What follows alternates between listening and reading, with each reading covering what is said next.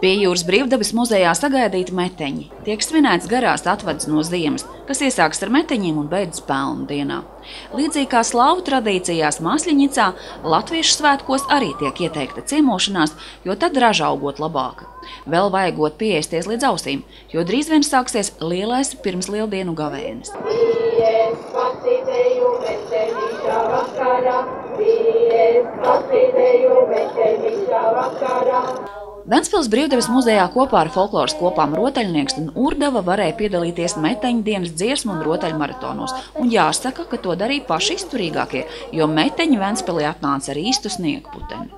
Tas tīri labi patika ciemiņiem, haskijas sugas suņiem, kas atvesti no zirām. Sniega kamanu izspriedz bija tieši laikā, nevelti sniegs bija ilgi gaidīts, varēja braukt haskiju pajūgā. Sniega suņus drīkstēja fotografēt, kā arī atbildot pareizi uz 12 Viktorīnas jautājumiem par Sibīrijas haskijiem, balvā tika bezmaksas brauciens haskiju pajūgā.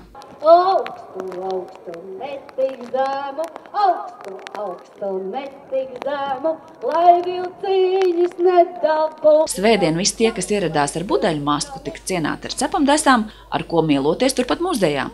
Meteņu svētki aizvadīti. Gaidīsim slāvu masļaņicu Ventspils pie jūras brīvdabas muzejā. Un tad būs pankūku laiks. Gonta Porniec Mārts Putnieks, Kurzemes televīzija.